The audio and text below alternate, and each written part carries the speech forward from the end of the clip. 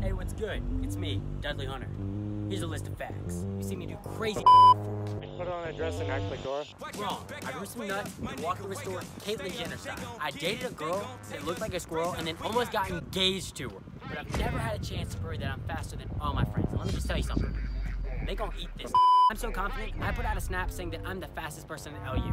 And the responses really shocked me because uh, honestly, I'm white. Oh yeah, he's white. Yeah, I'm white. McCain said, screw it. Let's do a challenge on YouTube that proves how white you are. Yeah, no, you came up with this. And it's called the White Boy Game.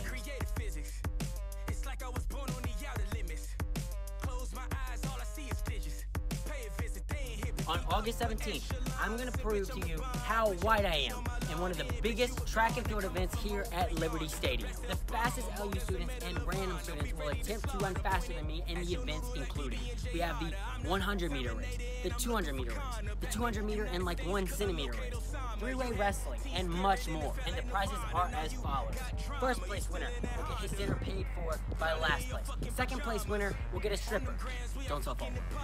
And it will be live streamed on YouTube, so get ready to sit on a toilet and watch me beat everyone to how white Tickets go on sale never because it's YouTube, and you can watch for free. If you want to compete, DM me on Instagram. It'll be right here. I've said this before, and I'll say it again. I'm the blackest white dude on Liberty campus.